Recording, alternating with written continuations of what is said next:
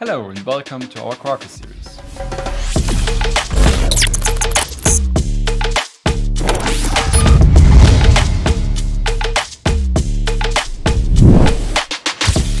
Today we want to talk about a brand new Quarkus LangChain extension. It's uh, offered in the Quarkiverse and it allows you to connect your Quarkus service with large language models like uh, OpenAI's ChatGPT or models from Hugging Face. Um, with LangChain, you can integrate not just the language models themselves, but also offer uh, advanced services like um, building agents that can access tools, so functions of your Quarkus service, but also stuff like uh, retrieval augmented generation, where we use um, a vector database to find relevant documents uh, for a query and provide them to the language model so it can use the documents that are relevant for your query and have proper context for the answers. But also retrieval augmented generation.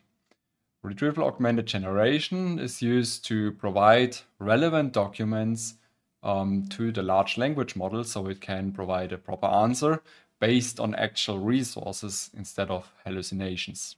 I've already opened the LangChain4j uh, Quarkus extension documentation and here we can also see this image which illustrates what you can do.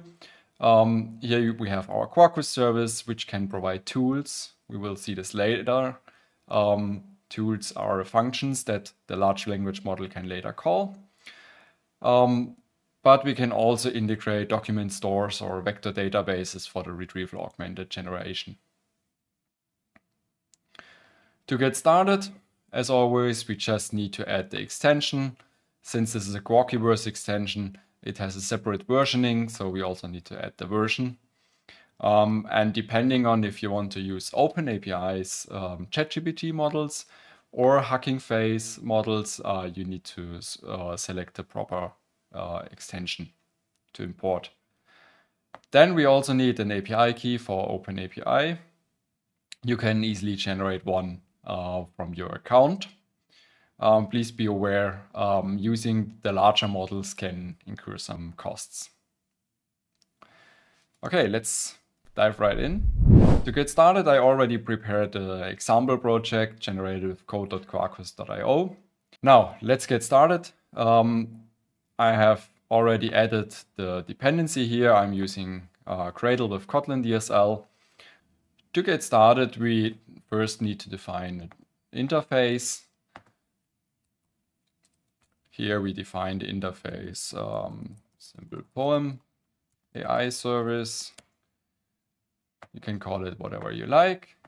What is important is that we annotate this interface with add register AI service. This is similar to how you would register a REST client, and that's also what's done behind all of this. Um, so we register AI service, and now we just need to define a function, what we want to do. So now for our example, we want to write a poem. Um, so let's write a poem about a specific topic and uh, of a specific length. So a couple of lines. And of course, we don't want to do it ourselves. We want the language model to do this for us. So to allow this, we need to define two more annotations. This is first the system message and also the user message. So in general, the system message is there to tell the language model uh, about its role, how it should behave. So in our case, um, we define you're a professional poet. And for the user message, we want to tell the model what it should do with the user input. So we can here, we can template a string here. So let's say um, write a poem about topic. The poem should be lines uh, lines long. So what we do here is basically we uh, use the user's input later, which is the topic, and the number of lines we want, we put them into a query, and that's basically the same as if you would send this to your ChatGPT, just that we will do it um, with the API. So this is already all we need to do on the coding part to integrate with a large language model. One thing that's left to do is to define our API key. So to do this, I already prepared a .env file. Here's an example how it looks like. So you have your open API key and you can configure it there or also just as an environment variable or directly write it into your application properties. But that's of course not recommended because you don't want to put this in your version control. So in my case, I just reference the environment variable here to set it as the Open API, uh, OpenAI API key. Now we have configured everything we need for our POEM service. Um, however, we still need to somehow interact with it. And for that, we will define just a simple POEM resource For this, I already prepared this poem resource. Under slash poem, we have a simple get endpoint with two REST query parameters. Uh, one is the topic and one is lines, and lines also has a default value. And in here, we simply call the poem AI services method poem, write poem, and we just injected that here. So now let's run this.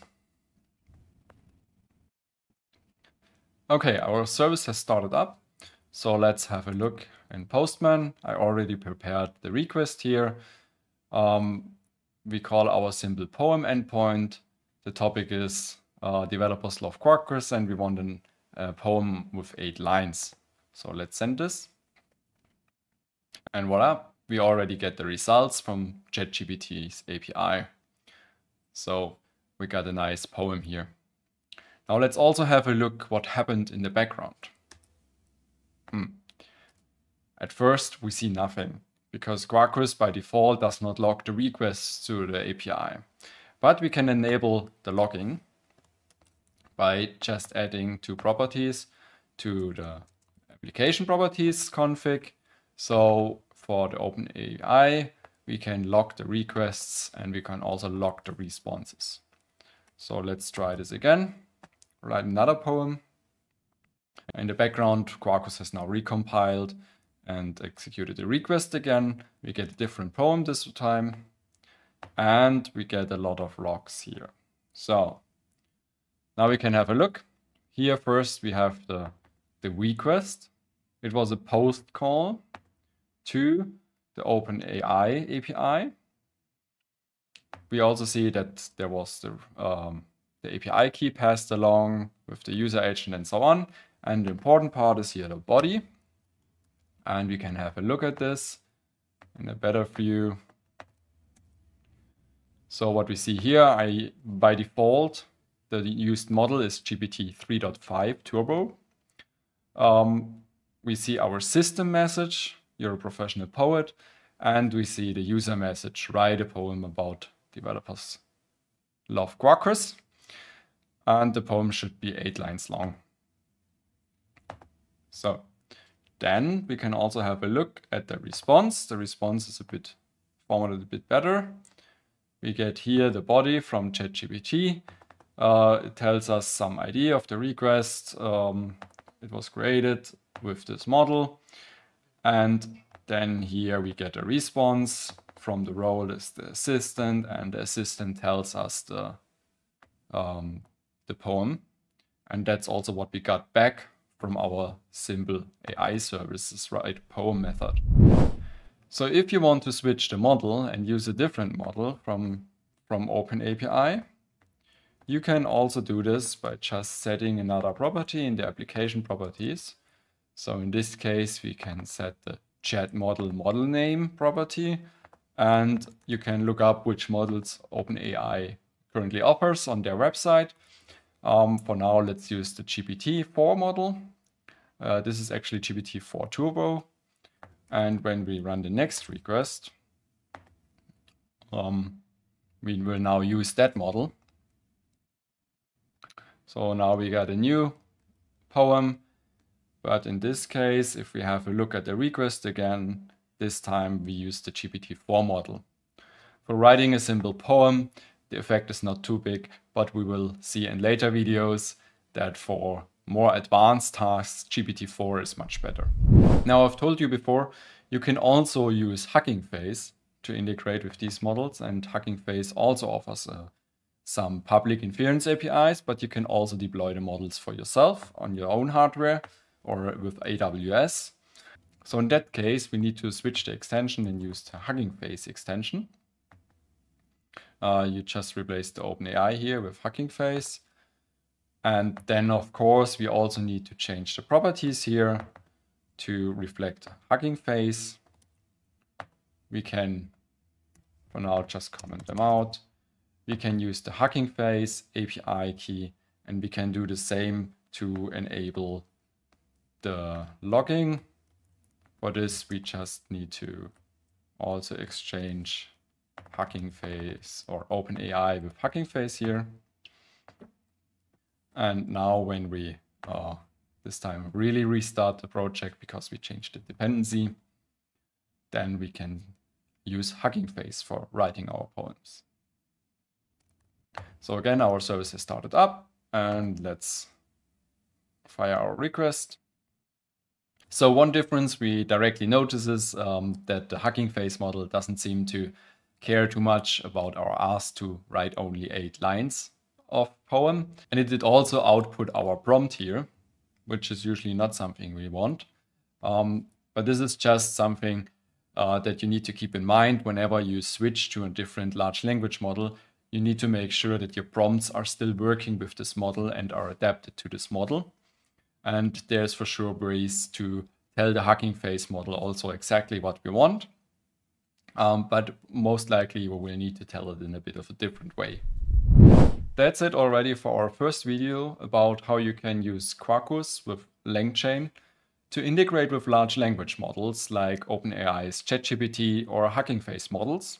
In the next videos we will have a close look at tools and how you can use them to build agents with your AI and also at uh, retrieval augmented generation uh, where we feed proper context to the model so it can provide you better answers. We hope you've enjoyed this episode. Please like and subscribe so you don't miss the next videos and see you next time. Bye bye.